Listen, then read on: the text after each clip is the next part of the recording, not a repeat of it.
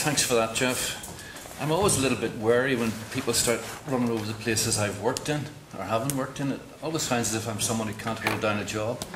But uh, at any rate, I've had a, a little bit of a trajectory, all right, a little bit of a travel around um, Galway, Dublin, Aberdeen, sometime in the US as well. Perhaps that might be a key to some aspects of the way I address the problem of writing a history of Ireland. Um, as Jeff said, I've just published it last year. It begins in 431 and it concludes in 2010. Um, 431 is the first recorded date in Irish history. That is the first date for which we have literary evidence. And as a historian, that's what I work with. I work with, with documents, I work with lit literary evidence. Doesn't mean that I have no respect for the archaeologists. Um, it doesn't mean that I ignore their work. It just means that I had to start somewhere, and 431 seemed to be as good a place as anywhere. Um, what I wanted to do then was to, once you decide to do something like that, you have to figure out how you're going to go about it. Um, you just can't write one thing after another. You can't do a chronicle. You can't do an annal. You can't have entries for each year for the next 1600 years or so. What I tried to do was to jot down a few patterns, I think, that I might like to investigate, to look and see if there are uh, if there are overarching themes in Irish history which might make sense of that period, those 1600 years, or make sense of long periods within that period, some, several centuries at a time. It's an opportunity for a historian to, you know, observe the long periods of time without the sort of narrow specialisation which I've done in my previous books of looking over two or three years in fairly atomised detail. This is a chance to look at really the broad sweep of Irish history and see what sense you can make of it. So what I tried to do then was to come up with a number of themes which seemed to me to make sense of Irish history, or at least which helped to understand that long period of time. The first of these, the first theme which I came on, I suppose, would be the very obvious one of Ireland and England. That is to say that this has been a recurring theme in Irish history. That is, that from the time of St Patrick right down to 2010, Ireland and England seem to be locked at, to, at, to some extent in some sort of eternal conflict. There seems to have been some sort of engagement, some sort of contestation for the last 1600 years. You could argue, it has been argued, very often in a polemical fashion, that doesn't entirely rule it out as being admissible, that the central theme of Irish history has been the struggle to set up an independent sovereign Ireland, and that the chief obstacle to that has been England, and that this has been a, a, a theme which has been pursued through the centuries from 1200 on, perhaps even before. This notion of setting up a, a single unitary state is something which um, seems to offer that overarching theme with which we can work and in which we can try and fit the events of Irish history. The evidence for this, of course, would be the multiple revolts of which we've heard quite a bit during today, though I didn't expect to hear about 1641 and 1690 and 1798 and Robert Emmet and so on and so forth. That these have been, these are the, the building blocks with which to construct the, the overarching theory of perennial conflict between England and Ireland. The difficulties in the way of this, though, the difficulties in accepting this as a central theme, I think, are many. Um, one just basic one, because I'll have to move on. One of the difficulties is that many of the the, the rebels of the period from the 1580s through the 1640s, 1690s, and so many of these rebels regarded themselves as not rebels at all. They regarded them, themselves as rebels on behalf of the king. They regarded themselves as conservative rebels. They saw they did not seem to have any aspiration to sort of separate Ireland from England and set up an independent Irish republic or anything of that sort. That does appear in 1798 with Theobald Wolfe Tone and the United Irishmen, and obviously also with Robert Emmet. But then for, for most of the 19th century, the whole, the whole idea is rather with mending the union between England and Ireland rather than ending it.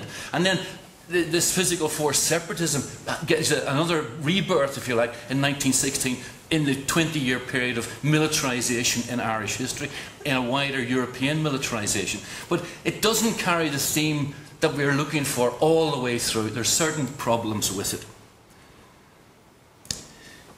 There is another aspect to the Anglo Irish relationship, away from the strictly political one, that is worth investigating. And that is the, I think the idea that I've tried to look at from time to time, um, perhaps more, with more emphasis in certain periods, is this the theme of a colonial connection between England and Ireland. That Ireland as a colony of England. Famously, the first colony, Robert Frame, Robin Frame has written a wonderful text on colonial Ireland in the early medieval period.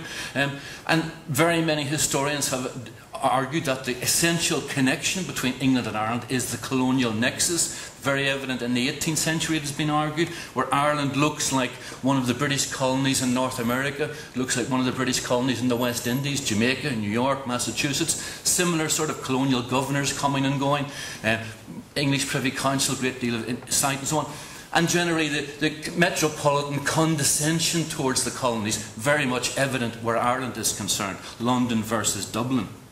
Um, and of course, the obverse of the colonial con connection, the colonial nexus, is the post-colonial angst. And very, uh, very much this has been a theme, especially with literary scholars, that Irish literature, Irish culture, um, exhibits all that, all the elements of post-colonial cringe. That, that is, having got rid of the mother country, we spend our time aping the manners and mannerisms of the mother country, and are sort of a, a very defensive posture the English language newspapers, the English newspapers which are filled, uh, fill the newsstands here, English television programmes, support for English, English TV, uh, English football teams, and so on. All of which would sort of seem to classify us as very much in a post-colonial mode. Hence the, the whole idea of a colonial nexus, and from the medieval period on up to on up through the 19th century, and then the post-colonial sort of period, um, post-colonial outlook I think that offers, again, that sort of broad sweeping theme which can be investigated against the available evidence, which can be interrogated um, throughout with, with the available evidence. There are problems with this as well, and some people will know I've been unhappy with this notion of a colonial nexus being the be all and end all, the central theme in modern Irish history.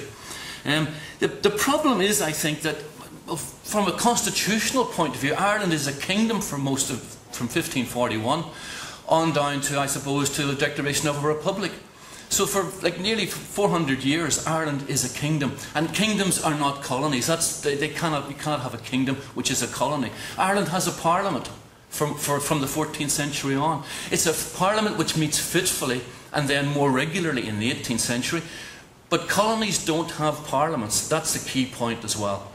Colonies have assemblies. They have uh, they have uh, Uh, various sort of representative bodies, Massachusetts General Court, the Virginia House of Burgesses, but not the Virginia Parliament or the Massachusetts Parliament.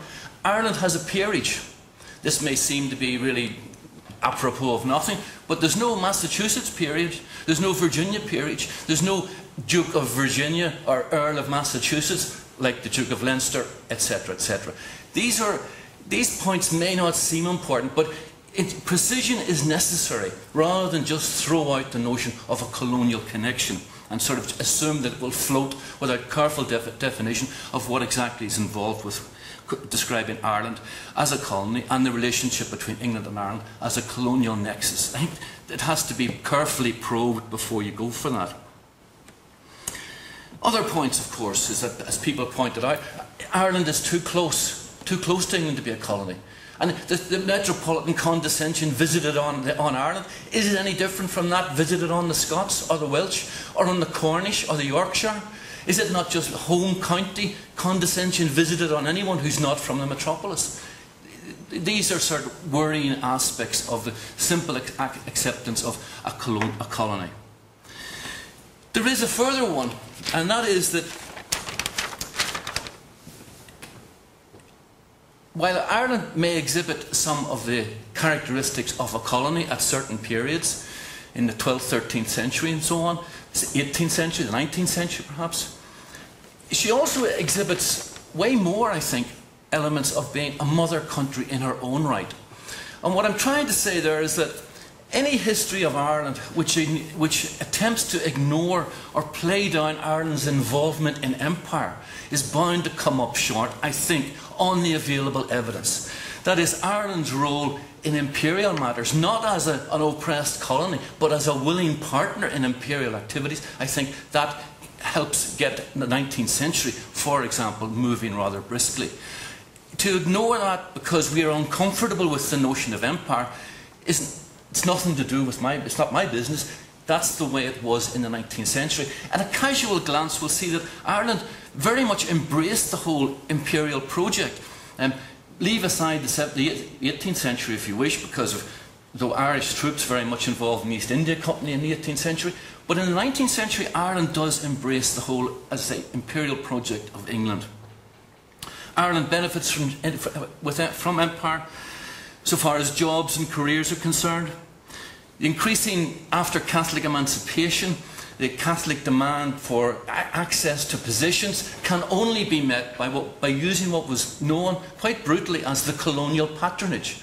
That is to say, there simply weren't jobs to go around for all these newly qualified Catholics. Very many of them would find an outlet for their uh, energies, their intelligence, their whatever, in the, in the colonies. And this was a deliberate strategy of the British government.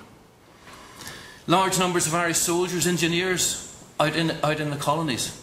Um, very much the Queen's universities, the Queen's colleges, were, in a sense, forcing houses for imperial administrators. They weren't educating people just to be graduates. They, were, they had wide syllabuses where they had uh, Sanskrit and Hindu and geography of India and so on would be taught to would-be imperial administrators.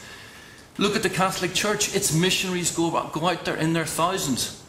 Look at Cardinal Cullen's correspondence. Cardinal Cullen seemingly has conceived a notion of spreading Catholicism throughout the British Empire throughout the 19th century, late 19th century. He is in, he's in touch and contact with very many um, bishops um, throughout the British Empire, the White Empire especially.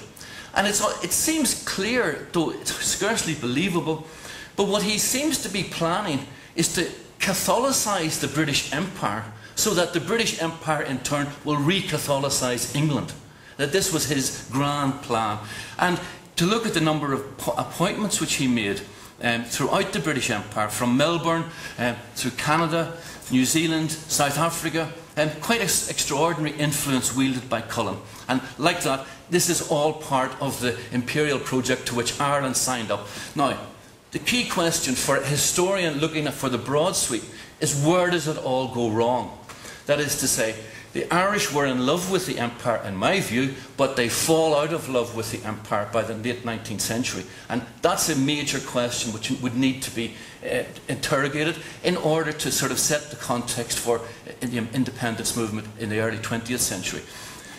I don't think it's enough to say that independence was inevitable or that there was a, a strong demand for armed insurrection or anything of that sort. Up to 1914, it couldn't have been forecast. Um, it, if anything, armed insurrection would have probably been more likely in Belfast rather than Dublin. But nonetheless, this is the way the, the empire, once the bonds of empire begin to unravel, um, then I think the bond with England begins to unravel dramatically as well. And I think that, that would be one of the themes which I would try to address in, in, this, in, the, in my book.